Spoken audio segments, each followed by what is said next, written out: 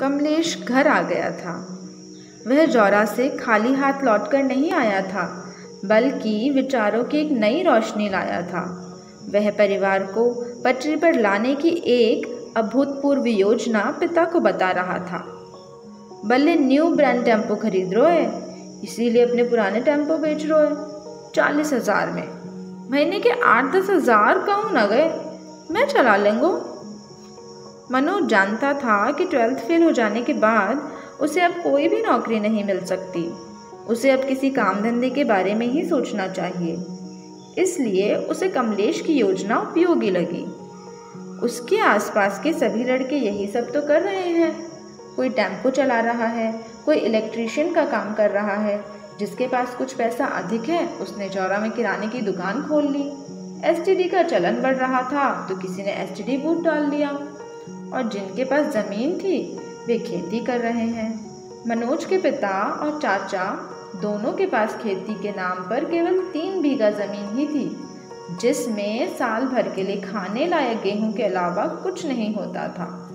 इसलिए धंधे के अलावा उनके पास कोई दूसरा विकल्प नहीं था। लेकिन पिता के पास टेंपो खरीदने के पैसे नहीं थे। उन्होंने बहाना बनाया। टेंपो चला के घर की इज़्ज़त बिगाड़ोगे? पढ़ो लिखो परिवार है हमारो पिता का इनकार सुनकर दोनों बेटे चुप हो गए। पर माँ ने पिता से लोहा लेने का मन बना लिया। वाह, बहुत इज़्ज़त है तुम्हारी। घर घर जाके उधार मांगती हो, तब इज़्ज़त न जावती मोड़ा मेहनत करके कछु करबो चाह रहे हैं तो जे मदद करने की जगह टांग अड़ा रहे हैं। माँ का उलाहना सुनकर पिता ने मौन साध लिया। अगले दिन सुबह जब माँ ऊपर कमरे में गई तो उसने देखा कि पिता बैग में कपड़े जमा रहे हैं। पिता को कपड़े जमाते देख वह ठगी रह गई। उसे लग रहा था कि वह पिता को टेंपो खरीदने के लिए मनाने की कोशिश करेगी। पर पिता, जो पिछले सवा महीने से नौकरी पर ध्यान दिए बिना घर पर टिके हुए थे, उन्होंने आज अचानक वापसी की तैयारी कर ली। पिता ने कहा, बहुत काम पेंडिंग है ऑफ़िस में। मैं अब निकल दो। जल्दी रोटी बना खा के जाऊँगा।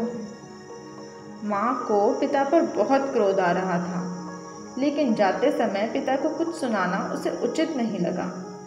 पिता नौकरी पर चले गए। ऐसा लग रहा था कि पिता के जाने के साथ ही टेंपो खरीदने की योजना पर विराम लग गया है। लेकिन कमलेश के अगली सुबह फिर से जिद करने पर माँ ने कहा बाप तो तय एन मौका पे भजी गयो। अब मोह से का चाहत है? मैं कहाँ से चालीस हज़ार ले आऊँ? बहुत देर चर्चा होने के बाद निष्कर्ष निकला। माँ बोली, दस हज़ार तो मुँह पे रखे हैं। तीस हज़ार पंडित कालीचरण से उधार मिल जावेंगे? जेवर रखे हैं, गिरवी रख देंगी चालीस हज़ार में बल्ले का सेकेंड हैंड टेंपो आ गया। उम्मीद और विश्वास से भर गया पूरा परिवार। कमलेश ड्राइविंग सीट पर बैठ गया। किराया इकट्ठा करने की ज़िम्मेदारी कंडक्टर मनोज को मिली। मनोज ने सवारियों को आकर्षित करने के लिए आवाज़ लगाना शुरू किया। छैरा, भर्रा, बागचीनी, मुरैना। थोड़ी देर में मुरैना की पाँच सवारियाँ मिल गई। टेंपो सवारियाँ लिए मुरैना की ओर बढ़ गया। व्यवसाय की अच्छी शुरुआत रही। रात को घर आकर मनोज ने आज की कमाई के दो सौ रुपये माँ को दे दिए। माँ दोनों बच्चों के इस तरह पैसा कमाकर लाने के कारण भावुक हो गई। दिन भर की मेहनत के बाद मनोज का चेहरा रूखा हो गया। बाल धूल से सन गए। शर्ट मटमैली हो गई। होठ पपड़ा गए। बच्चों की हालत देखकर माँ की आँखों में आँसू आ गए। मनोज ने माँ को रोते हुए देखा तो उसे गले लगा लिया। उसने कहा, चिंता काय कर रही है? अब तेरे मोड़ा कमान लगे हैं. लगभग एक महीने तक टेंपो चलता रहा। रोज़ शाम को 200-250 रुपए दोनों बेटे कमा कर लाते रहे। माँ को लगा, यदि इसी तरह टेंपो चलता रहा तो जल्द ही उधार पटा दिया जाएगा। फिर एक दो साल में नया टेंपो ले लेंगे। पिता की अनदेखी के कारण उसे अपने बच्चों से उम्मीद होने लगी थी कि उनकी मेहनत से यह घर फिर से संभल जाएगा। आज टेंपो जैसे ही बागचीनी चौराहे पर पहुँचा, वहाँ पुलिस की चेकिंग चल रही थी। सिपाही ने मनोज को टेंपो साइड में लगाने का आदेश दिया। मनोज ने लाइसेंस और रजिस्ट्रेशन दिखाते हुए सिपाही से पूछा, क्या बात है दीवान जी हमें क्यों रोका है? कागज़ तो पूरे हैं टेंपो के। सिपाही ने कहा, थानेदार साहब का आदेश है, उनसे जाकर पूछो। सिपाही टेंपो को स्टार्ट कर 200 मीटर दूर सड़क के किनारे बने बागचीनी थाने में ले जाने लगा। मनोज और कमलेश टेंपो के पीछे दौड़ लगा रहे थे। तभी पास से बालाजी बस सर्विस की बस निकली। उसका कंडक्टर दरवाजे से अपना सर निकाल कर ज़ोर से चिल्लाया। काय रे, कही थी ना? जा रोड पर टेंपो चलावो भुला देंगो। अब चला टेंपो? यह वही कंडक्टर था जिसका झगड़ा बल्ले से हुआ था। वह टेंपो को पहचान गया था। मनोज ने जब उस कंडक्टर की बात सुनी तो समझ गया कि वे लोग बस ऑपरेटरों के षड्यंत्र का शिकार हो गए हैं। थानेदार पचपन साल का पका हुआ थानेदार था। मनोज ने डरते हुए थानेदार से कहा, सर, मेरो टेंपो के सारे कागज़ सही हैं। फिर भी टेंपो को थाने में बंद कर दिया है। थानेदार ने दीवान को आदेश दिया। दीवान जी बाहर फरियादी बैठा है, उसे ले आओ। दीवान एक बीस साल के युवक के साथ वापस आ गया। रात के अंधेरे में सेंध भारी करने वाले इस युवक का नाम दिनेश था, जो कि पुलिस का मुखबिर भी था। थानेदार ने दिनेश से पूछा, बता दिनेश, क्या फरियाद लेकर आया है? दिनेश ने जैसे रटा हुआ वाक्य बोलना शुरू किया। मैं और मेरा दोस्त मोटरसाइकिल से जा रहे थे। पीछे से इसके टेंपो ने टक्कर मार दी। मेरा दोस्त ज़मीन पर गिरकर बेहोश हो गया। उसको बागचीनी के प्राथमिक स्वास्थ्य केंद्र में भर्ती करके आपके पास आया हूँ। थानेदार ने मनोज को देखकर कहना शुरू किया। सुन लिया तूने? एक तो सड़क पर एक्सीडेंट करता है, ऊपर से जबान चलाता है। मनोज रुआसा होते हुए बोला, ये आदमी झूठ बोल रहा है। हमसे कोई एक्सीडेंट नहीं हुआ। थानेदार अब अपने असली रूप में आ चुका था। चुप साले, बंद करो दोनों को अंदर जेल में। जेल में सड़ोगे, तब पता चलेगा एक्सीडेंट किया है कि नहीं। बालाजी बस सर्विस के मालिक से प्राप्त फ़ीस के बदले थानेदार ने अपना काम बखूबी कर दिया था। मनोज और कमलेश के पैरों तले ज़मीन खिसक गई। दोनों के आँसू बहने लगे, पर थानेदार नहीं पसीजा। दोनों को दीवान ने लॉकअप में बंद कर दिया। दोनों का रो रो कर बुरा हाल था। वे डर के मारे काँप रहे थे। उन्हें समझ नहीं आ रहा था कि अब कहाँ जाएँ, किससे मदद मांगे। दो घंटे बाद दीवान ने उनसे कहा तुम दोनों को रात भर थाने में बंद नहीं कर रहे हैं। यही गनीमत है। थानेदार साहब बहुत रहम दिल है। अब जाओ। लेकिन अब यह टेंपो तो कोर्ट से ही मिलेगा। कोर्ट से छूटने के इंतज़ार में कई टेंपो थाने के बाहर खड़े कबाड़ में तब्दील हो रहे थे। दोनों समझ गए कि अब कोर्ट से छूटने का मतलब है कि उनका टेंपो भी यहाँ खड़े खड़े कबाड़ हो जाएगा। थाने से छूटने के बाद दोनों अपनी जान बचाकर भागे। दोनों का पुलिस से यह पहला सामना था। उनके लिए थाना रक्षक नहीं, भक्षक बना था। रात हो गई थी, इसीलिए अब कोई बस यह टेंपो सड़क पर नहीं था। दस किलोमीटर पैदल चलकर दोनों अपने गाँव पहुँच गए। निराश, दुखी, टूटे हुए, पराजित से। आँखें आंसुओं से अब भी भरी हुई थी। माँ को देखकर मनोज फूट फूट कर रो पड़ा। घटना सुनकर माँ की आँखों में भी आँसू आ गए।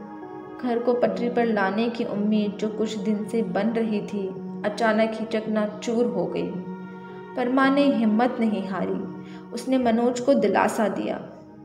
सब ठीक हो जाएगा, तू चिंता ना करे। रात भर मनोज छत पर पड़ा रहा। उसे नींद नहीं आई। जागता रहा वह सारी रात। रात बीत चुकी थी। सुबह हो चुकी थी। कल की बेबसी ने जो आँसू बहाए थे, वह सूख चुके थे। जिन सपनों को लेकर नया व्यवसाय शुरू किया गया था, वह सपना टूट गया था। पिछले एक महीने में आर्थिक रूप से कमज़ोर परिवार को संभालने की कोशिश की जा रही थी, पर अचानक सब बिखर गया।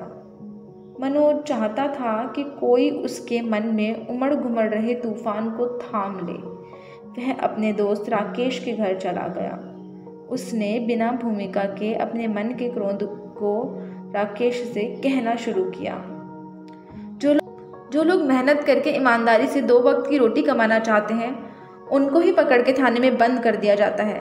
पुलिस ऐसा ऐसा लोग करती है जैसे हम चोर लुटेरे हों, जिसके पास पाँच पाँच बसें हैं, पैसा है, क्या सड़क उनके बाप की है? गरीब अपना टेंपो ना चलाए। इतना कहकर मनोज ने राकेश को कल की पूरी कहानी कह सुनाई। राकेश ने मनोज को अधिक गंभीर होते हुए देखा तो वह माहौल को हल्का करने की कोशिश करने लगा। कोई नई बात बता, जी तो सब जानते। आज तेरे साथ घटना घट गई तो तू परेशान हो रहा है। रोज यही लड़ाई झगड़ा है, गरीब ऐसे ही पिस रहा है। मनोज के मन का विद्रोह और भड़क गया। पर ये तो गलत है ना, जो ईमानदारी से, मेहनत से अपना काम कर रहा है, उसे क्यों सताया जाता है? राकेश ने जीवन का व्यवहारिक ज्ञान सपाट तरीके से मनोज को देने की कोशिश की। मनोज, इसीलिए आदमी मेहनत कर तो अपने मोड़ा मोड़ियन ने पढ़वा तो नेता पुलिस से दोस्ती कर तो तुम्हारे पास पैसा होते तो थानेदार के मुँह पे मारते। तुम्हें नेता विधायक, कलेक्टर, एसपी जानते तो वे थानेदार से तुम्हारी सिफारिश कर देते। पर तुम तो हो ठन ठन गोपाल, कोई ना जानता तुम्हें, न तुम जानते काहू को। मनोज को यह कड़वी बात पसंद नहीं आई। मतलब पुलिस की कोई ज़िम्मेदारी नहीं है कि झूठे केस ना बनाए, गरीबों पर अत्याचार ना करे। वह नियम और सिद्धांत की बात ही पकड़े हुए था, लेकिन राकेश ने कठोर सच्चाई उसके सामने रख दी। तेरे जैसे लोग गाड़ीबाजी ना कर सकत, सवारी बिठाने के चक्कर में गोली भी चल सकती है। पिछले महीने चौरा पुलिया में चली, ना हती गोली? एक टेंपो वाले की जांग में घली हती। तू रहने दे, लड़ाई झगड़ा पुलिस कचहरी सड़क पे मारपीट जितने बस के नाए।